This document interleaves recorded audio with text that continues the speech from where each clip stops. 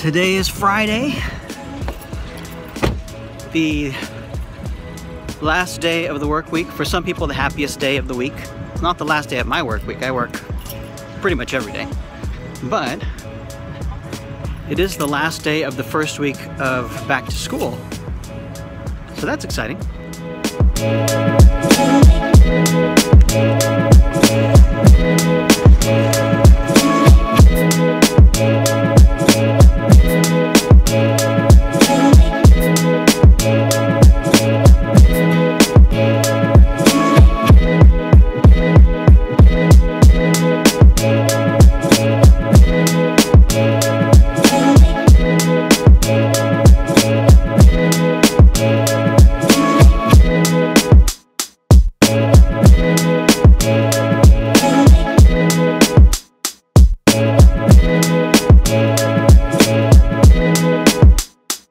Thank you.